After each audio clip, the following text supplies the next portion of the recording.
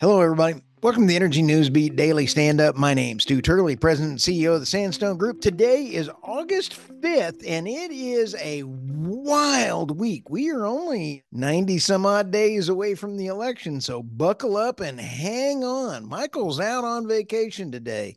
So let's take a look at our story, top stories today. Leftists beg the feds to cut interest rates to revive Green New Deal projects. Wow. Didn't see that one coming. Global power demand is soaring. The IEA expects 4% growth in energy in 2024 and 2025. India has issued vesting orders for 10 coal mines. This is coal mines, not power stations.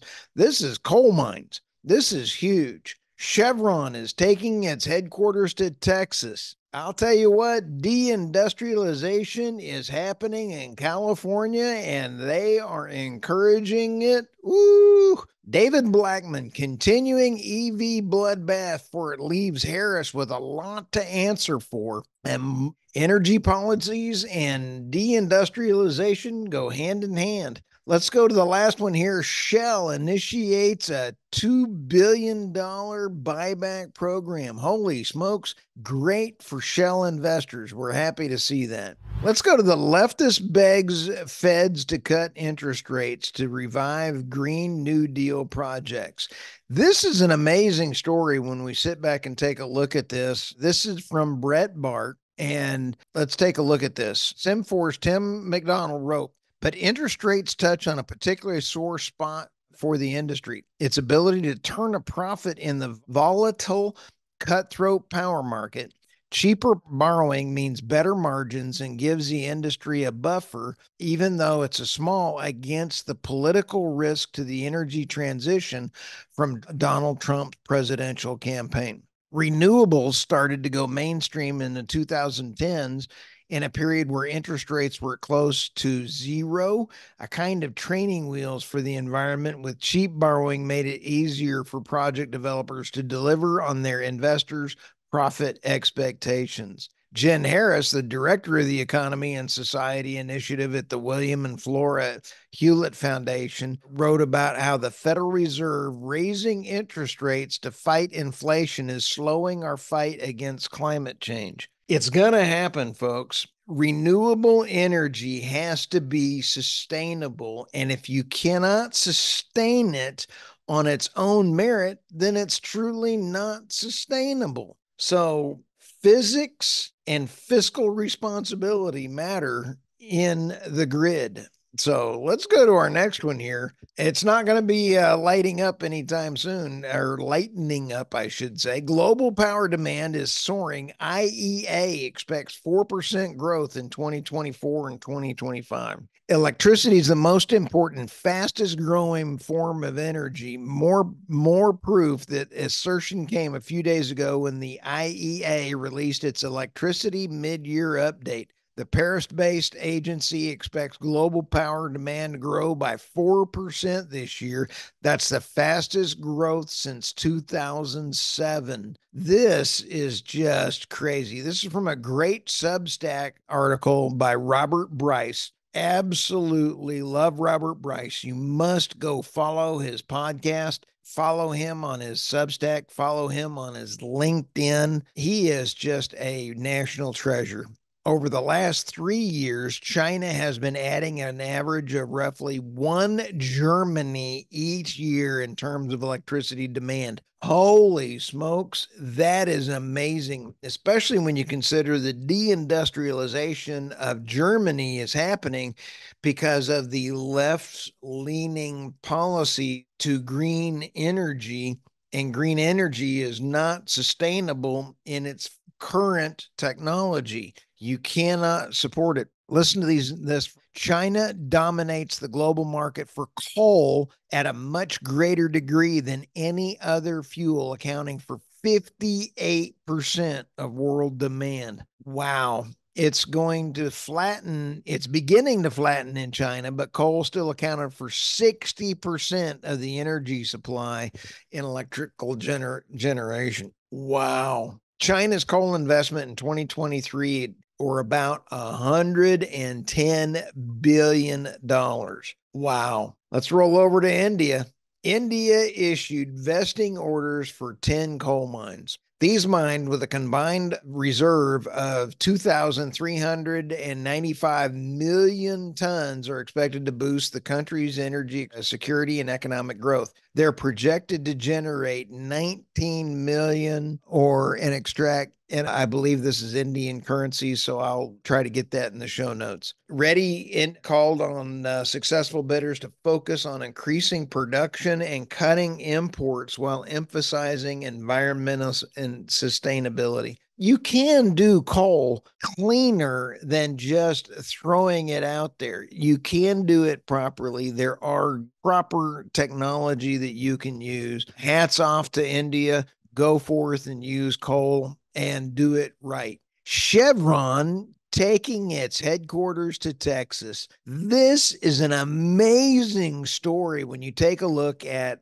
Elon. I love Elon Musk and his purchasing of X, his rockets, and everything else he's picked up and he's left. We're watching the deindustrialization of New York and California following just like the deindustrialization of Germany, and that is left wing woke energy policies. And woke policies will cause companies to leave. And that is billions of tax revenue that Chevron's taking with it. Chevron and its predecessor companies have a long history in the state tracing back to 1879, the founding of the Coast Oil Company. And in 1900, Pacific Coast was bought by John D. Rockefeller's Standard Oil. What they now call Chevron was created in 1911 under the Standard Oil of California with and then with the breaking up with the Standard Oil monopoly.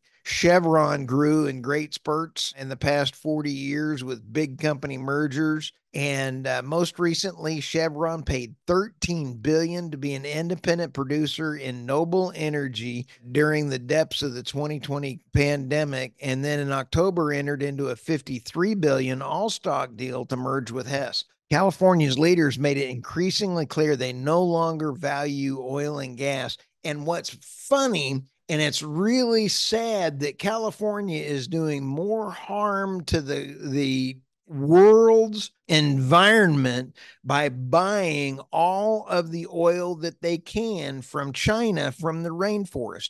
California is 70% responsible for the death of the rainforest in the oil that they purchase. This is absolutely hypocrisy at its finest. You can't buy that kind of hats off to Chevron, hats off to the investors, and well done. Go to Texas. Leave your eh, your and all your thousands of high paying jobs that you're bringing to Texas please leave your voting policies in California. Here's a great article from David Blackmon. You want to follow David Blackmon on his uh, Substack, blackman.substack.com. Continuing EV bloodbath for Harris with a lot to answer for. The pollution from vehicles powered by fossil fuels, quote, has long harmed the health of communities, says Harris, around our country. But there is a solution to the problem, and it's parked right behind me. Electric cars, trucks, and buses. They don't produce tailpipe emissions like they irritate the nose and the eyes that decrease lung function. Harris added, This means manufacturing millions of electric cars and buses right here in our country, and that means outfitting thousands of EV vehicles and repair garages just like this one, and it means installing national network of EV chargers. This is the same woman that has put out $7.2 billion for, I believe, six, six, 60 chargers. You cannot do this. It is economically malfeasance in order to carry, uh, continue this charade. They had 60 buses created with 7.3 billion dollars. Unbelievable waste of money. Unbelievable. Excellent article from David Blackmon. There's some new information coming about the Inflation Reduction Act and how it's being used to go after voting blocks. I'll have more on that story later. But that is supposed to be an Inflation Reduction Act, and there's a lot of porculous information that was in that.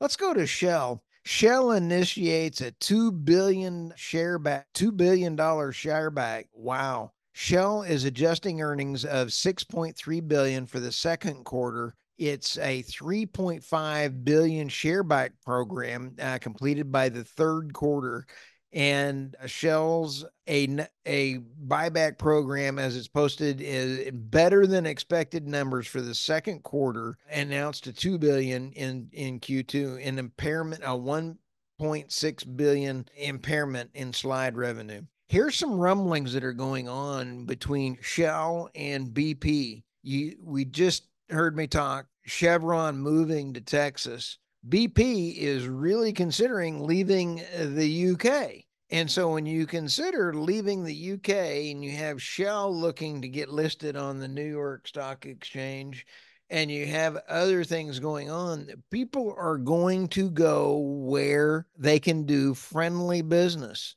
Just try to have a modern society without oil and gas. You can't make products from wind and solar, you have to use oil and gas. So you're not going to have a modern society without oil and gas. You need to have a balanced diet of all form of energy. So with that, would you please subscribe, like if you're in the market for LNG, oil and gas, go to energynewsbeat.co forward slash um, trading desk and it'll be in the show notes. And I just want to give a shout out to my neighbor. I was wearing my Trump hat out there the other day, and he's been voting a Democrat all of his life, and he's now voting for Trump. Said he can't afford uh, their policies. So, anyway, have a great day. Hug your neighbor and try to make sure you're ready to vote in November. Have a great day. Talk to you all soon.